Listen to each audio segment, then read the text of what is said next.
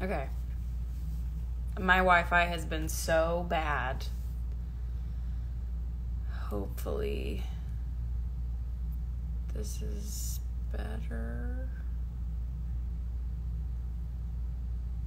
Um, I hope so. It's not my Wi Fi. Don't yell at me. Okay, let's try it again. Hi, Elsie. Okay. Hi. Hi. Oh my god, I'm sorry. My Wi-Fi is so bad. Oh my god, it's okay. I was like, I hope it's not me. No, it's it's it's always been me. How are you? I'm okay. How are you? I'm good. I'm okay. Yeah. You know, day by day. That really is the the mantra. It really it's crazy, but it is a every day I'm like, all right. I know. Take a deep breath. What are we gonna? What's gonna happen now? Um, I know. I mean, things have been. There's like I feel like it's been like one step forward, two steps back, one step forward, three steps back. It's been rough. It's been hard to to see, and especially. But I'm glad that people are now paying attention to the epidemic that is Black trans women Yeah. Men being murdered um, because I, I forget I forget who told me. Um, I think I'm not sure who told me. I don't want to say it wrong, but someone I did a live with told me that it's actually been declared an epidemic. Yeah. That's no, it's insane. I mean, it was. Um, I went to. You probably saw it in the news. There was a big uh, Black Trans Matter rally here in Brooklyn, um, and it was just like the most powerful thing ever. Um, and it was so many people, and I saw so many of my friends, and um, I really felt a glimpse of like oddly really optimistic for the first time that I haven't felt probably in months about all of these things. Yeah. Um, and then it kind of went back when I was reading about um, Toyin, the black activist who was murdered and assaulted. And it is really such an emotional roller coaster of so many crazy things in the world happening. Um, and still having to work and show Yeah. up for your friends and your family and do all these things. Um, my husband was saying to me this morning, he's like, I just think you're being so hard on yourself because this is like none of this is normal. Like this, we've never had to deal with all of this at once. Yeah. Um, it's always been like, yes, in my mind or talking with my family about racism or about these issues and about equality. But I think it's just constant every single day coming up all the time that it just feels like the air feels heavy. It is, but I think that's what needs to happen. I mean, it's clearly what needed to happen in order Yeah. for anything to change. And it's, you know, I think maybe, and I, I've said, I was talking to my friends about this, like maybe it took the world kind of pausing for a second because of a global pandemic for Mhm. people to look at their phones and see what's happening around them and pay attention. There's Yeah. so much that's paused right now and i think it's a blessing like no one's worried about the box office or some other irrelevant like Mhm. summer fashion trends it's like we're we're we're focused on more important things and i think that's what caused this revolution of sorts Yeah. Um, pretty amazing to be in it Yeah. Do you feel like you've do you feel like you've had like so many conversations about this that you never would have had before had these things not happened? Absolutely. I truly like have and it, and I'm trying to ask myself like why did it take this why did it take this but I think it's just been a an eye-opening period for a lot of people a lot of white people a lot of, you know people like me who never really had to confront it Mhm. before until it was there and you were Right. like whoa you can't avoid it now and now every day happens where i think about either oh am i stereotyping this person? Am i you know am i judging them? Am i assuming things about them? Am i you know it's it's kind of you you're stopping your thought patterns. I think things i mean it's been a very impactful time for me. And i'm i hope for a lot of other people. I think a lot of people are really learning a lot which is what to me is most important right now. Like i can just hear people talk hear what they have to say. I'm learning so much. Mhm. i'm and then i'm implementing that on my day to day you know i'm going out of my way to make sure i'm you know i'm alert. I'm aware of the things happening around me. And if there's something that happens that's you know if i see racism in front of me i can call it out and see Right. it is whereas like my blinders were on before because i had it wasn't you know it, it it wasn't something that i was on the on the other end of. So i wasn't taking time out of my day to even think about it which is the unfortunate reality of i think most white people. I'm not going to say most white people but i think you know it's like it had to be shoved down our throats in order for us to be like oh shit i see it Yeah. It's a it's a different it's definitely a different time because I think that people um have traditionally associated racism with like overt like KKK like you're in a hood you're doing some crazy shit and it's like that's not the only kind of racism that Right. exists um and I think that we have definitely like in our generation conditioned it to only be a certain type of behavior a certain type of stereotype of what it means to be racist.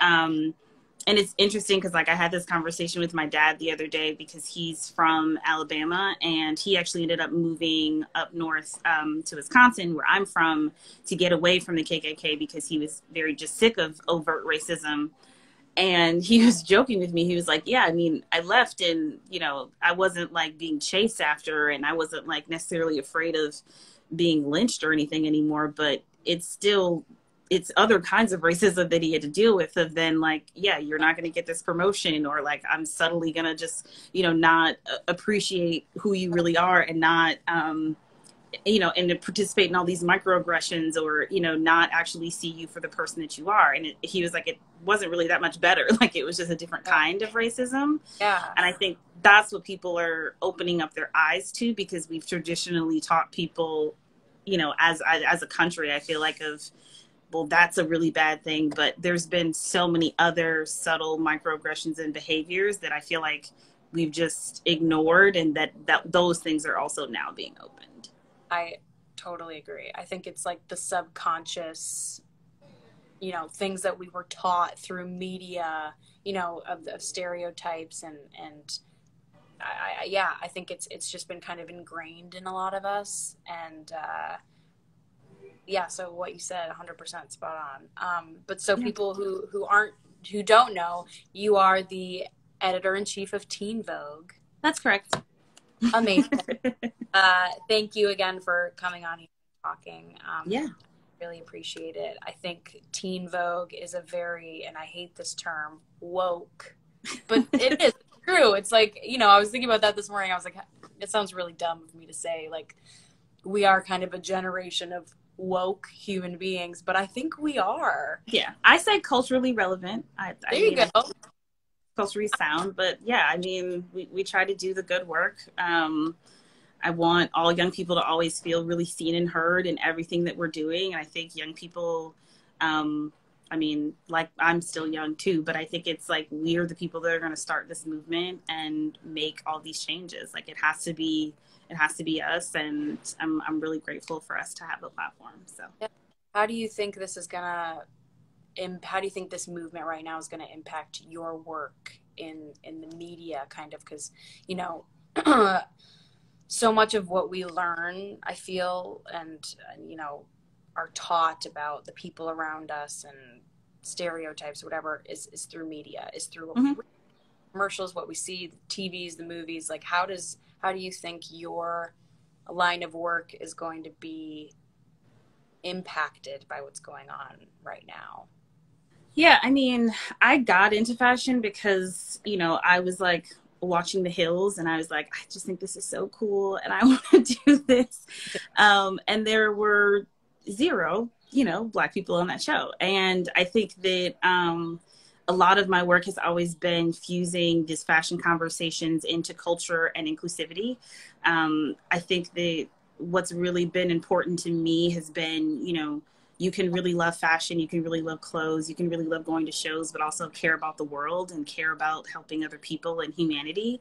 And so I think for me, it's only heightened my passion to really change things and continue to really be a ladder for other people and help other people in the industry come up that haven't had the opportunities or the chances or they don't come from you know if you don't come from money you don't come from a certain family in fashion it is really hard to get your foot in the door.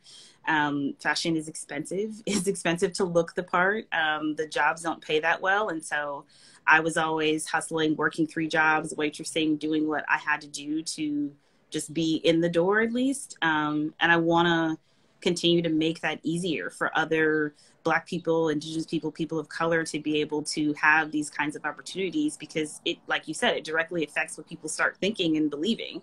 Um, yeah. and if you have more diverse minded people in media what we're digesting is better. Yeah. Yeah. Yeah. What we i mean i've been talking to i talked to asha who's a black actress um, and she you know it's just kind of you i'm stopping to think about how each how this industry has really played such a part in in all of this mm-hmm. and we just have to do better going forward uh, when it comes to just portraying what the world actually looks like rather than you know the 90s sitcom version of what the world looks like which is what right. people gravitate to you know i think it's it's a matter of expanding that and um, hopefully i think hopefully a lot of good art and stories are going to come from this.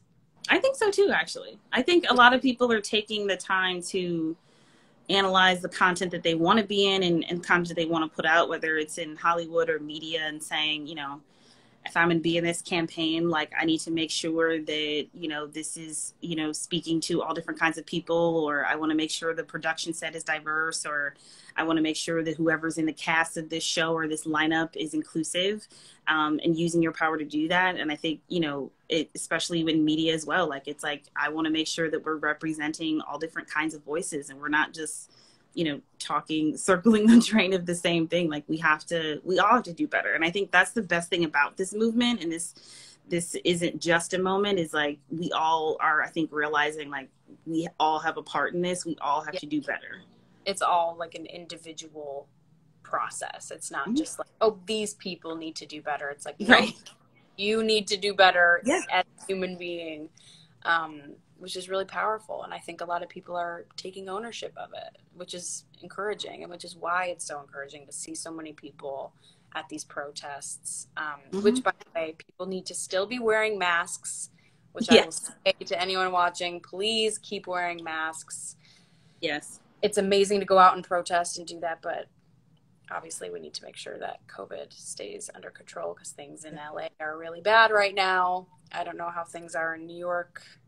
They're saying we're going to open on Monday, and I don't believe them. Like, I don't believe it's just scary. It's scary. I think it's people aren't taking it seriously anymore, and it's like, yeah, whoa, this is you know, we still need to make yeah, sure you still need to wear a mask. I saw a ton of people out this weekend hanging out at bars and with their friends with no masks on and I'm yeah. just like shaking my head here at home. Yeah, yeah. I'm not gonna be part of this nonsense. Who hates going out to bars and anything like that? I'm like, no, I'm staying in. Like, oh yeah, me too. I'm not a bar person. I'm very no. I'm good. Thank you so much. Yeah. So. I'll be right here if you need me. um, but you and I were talking a little bit about how this has affected mental health right now. Um, and I'm I'm someone who loves to talk about mental health. I think it's so important, and I think I think maybe for the Black community in particular, this is a very it's very ho- hopeful for all of us, but it also can be very traumatic. Mm-hmm. Um, so, I mean, what can you can you speak to to that a little bit? What your thoughts are about kind of the mental health?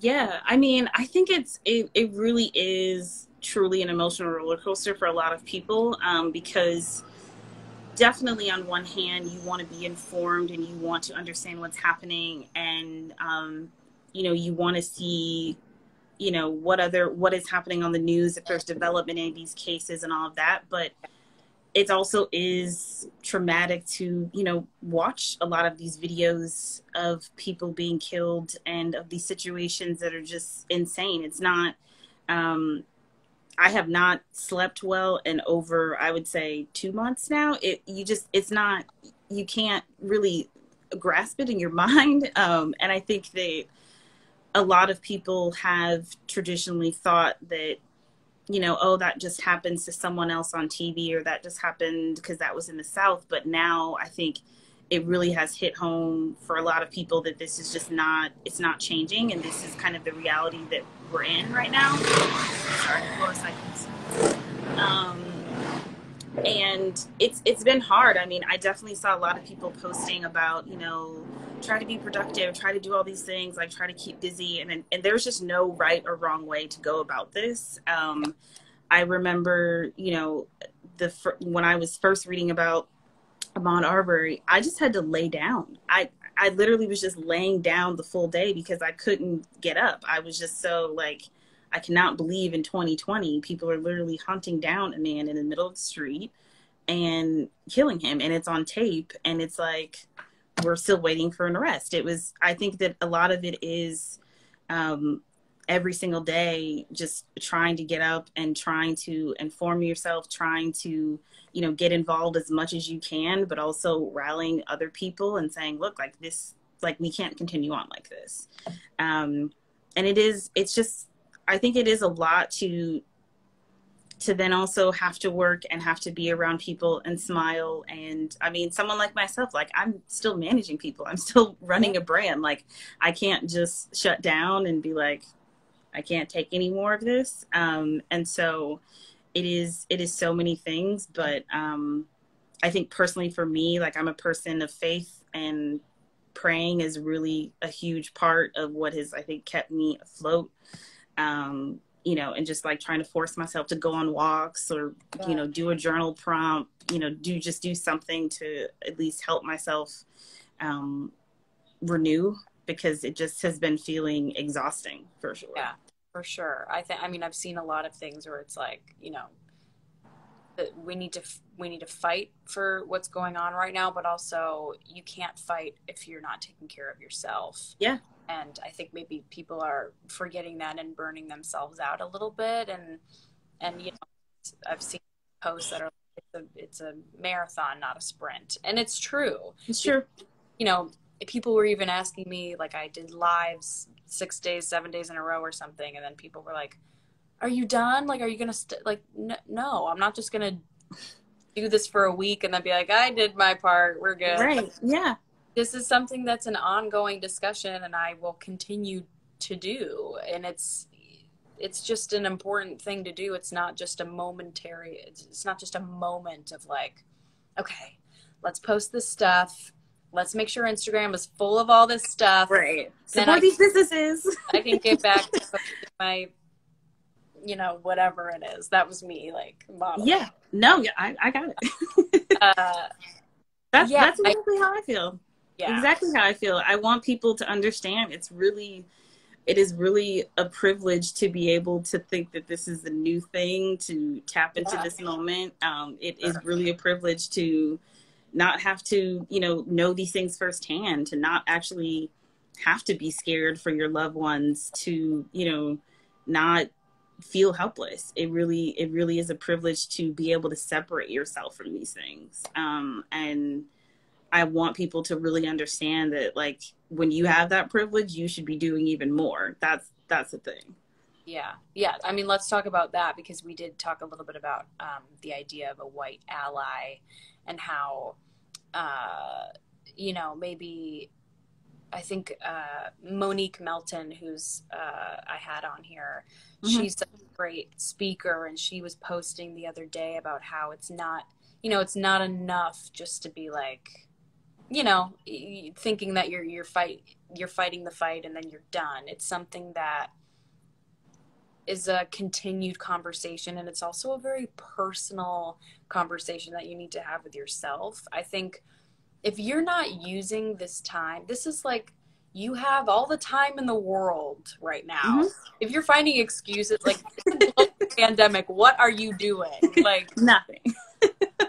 if if you have not taken this time to reflect on yourself, Right. shame on you is my is what I s- what I say. I feel like I've even before you know George Floyd, I I was really taking this time figure my shit out because I knew I had to and I did this hard work where I had to reflect inward and like dig up some shit I did not want to dig up and just Mhm. look at things and if you know if you're sitting here right now you know all the karens of the world are, are still, they're hard to penetrate but like for the young people watching who kind of feel like well you know i did what i could do it's like my i guess what i would say to them and i want to would say to them is just try to reflect inward right now because you think this is other people's responsibility it's not it is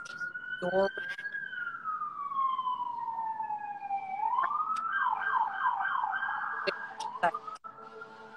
pause. Yeah Yeah. Um, okay. Gotcha.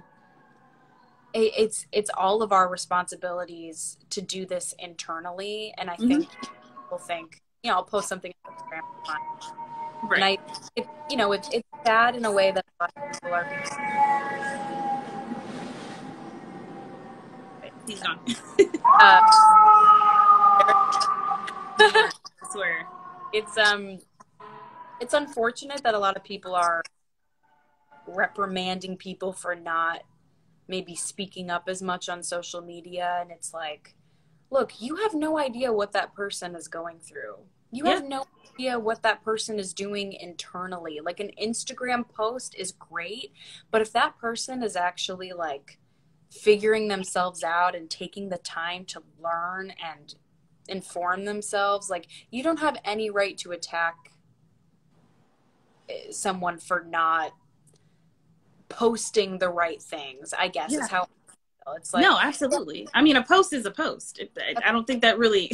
that's not Right. like starting a revolution. That's an Yeah. Instagram post. Right. Um, Yeah. No, and I think. I mean, I think what people need to realize in a lot of those situations is like you have to look at your yourself but also your inner circle of like who am i surrounding myself with because i think that's a way that people a lot of times think like well you know i'm not overtly doing anything to harm people of color or black people specifically but i'm like look at your circle if your circle if the people all look like you and they all think like you like you're never going to actually understand a lot of these issues that are happening like Yeah. if you know and i think a lot of examples that people have said i think are really good tactical things of like okay if you got married tomorrow and I was the only black person at your wedding, that's a problem. You should know more than one black person in your inner circle that you really want, that is really part of your day to day thinking of how you develop your values and your opinions about the world. And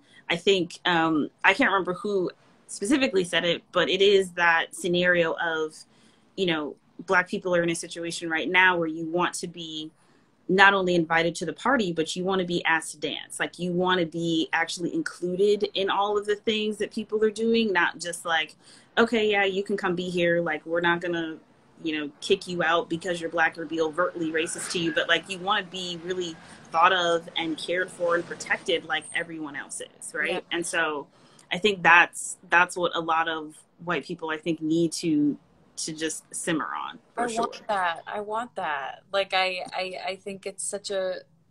I don't like. How could you? Ugh, I, I can't. I just can't relate to people who. Who think in that sort of like. Oh, I, I did enough. I've done enough. Oh, I have like. Oh, there's one black person here. I'm good. It's like. yeah.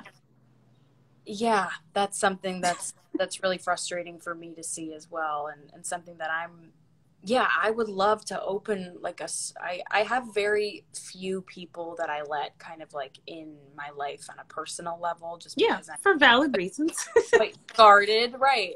But um i didn't yeah i'm, I'm quite a guarded person i guess unless you really are like close to me. But but even then i'm like i would love my inner circle to be culturally diverse because there is just is not enough of that. And i would you know it's just something that that's really important and i would hope that you know it's going to take a minute for things to to change and evolve but i think the conversations that we're having now like i know now that after this movement i'm going to be such a better mother to my future children than i was mm-hmm. a few months ago Not yeah pregnant or anything like that. We're not but, saying that. We're talking right, hypotheticals. Right.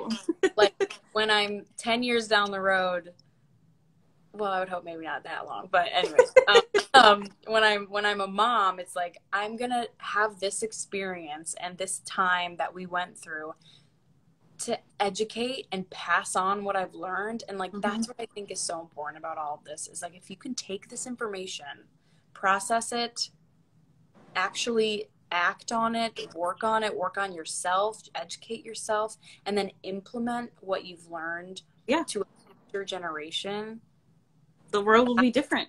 The world will be different. And the old white people who refuse to change will be gone eventually. Yeah. and they will yeah. be replaced with a generation of people who are more understanding, more empathetic, more passionate, more fired, yeah. just more educated. And I think no. that's a beautiful thing. And it's like, I'm fired up for the future generations and for our generation to be like, look, we're learning, we're evolving, we're adapting, we're educating ourselves, and it's the future is so bright because of that. And I think that's yeah. it, it really is such a such a beautiful thing to like see my friends sitting around and talking about how important this is and be like yeah like this is this is just really like a beautiful movement that we're all a part of and we're on the right side of it and we're right yeah no i i love it i love i mean it's been obviously like such a emotional time but I love seeing everyone really join into this conversation. Um, and I mean, like obviously we're such huge fans of you at Teen Vogue, and I'm so happy that you're passionate about this and want to have these conversations because that's that's a really big deal. A lot of a lot of our readers look up to you, and you know they're obsessed with Riverdale, and they're emotionally invested in the show as well. And so it is like you're changing lives in doing this, Lili, and that that really is important for you to know. Thank you. That's really sweet. I feel bashful and it's hard for me to take any kind of credit because this is truly just like a learning process for me just as much as it is for everyone else. I just so happen to have a lot of people who care who are follow my face, you know, um, online. That's why I'm like, yeah, let's then let's if you're gonna, you know, take pictures of my face and like be obsessed with my show, I'm gonna try and go out of my way to make it so when you're following me, you're learning something from me and you're yeah you you can take positive away from that experience of being a fan of mine. So, I mean, that's I guess kind of how I've looked at it. But I also just have really enjoyed. It's just been so educational and and humbling and, and wonderful to talk to so many people over the past two weeks and to talk to you and to talk to the future people that I'm going to be talking to. It's just been a really, it's been a really life changing. It's it really has, and it's weird because it's like we're just having conversations. Yeah, that people are watching, but it really is like shifting a lot, a lot, a lot of the yeah. way that I'm thinking, the way that other people think. It's just a really, it's a really beautiful thing. So thank you. I mean, thank you again for taking the time. I know you're still working and um, being a badass woman editor. but um but yeah, no, I mean, I really appreciate you taking the time and and for what you said. That was very sweet. Um, I mean, is there anything else you want to No, I, I can't think of anything. I feel like we, I mean, I, I, hope everyone watching this learned something and challenges themselves to, to take yeah. a moment to reflect. And thank you, everyone, for watching. Yeah. Thank you again so much. of course. Stay, stay safe and sane and, and healthy. And you're, too. Um, I'm glad you're wearing that mask and being safe. not I'm, I'm not leaving the house, Lili, but yes, yeah. Good, good. Okay, good. We're, well, thank you again. Thank have, you. Have a good day. See you ya. too. Bye. Bye.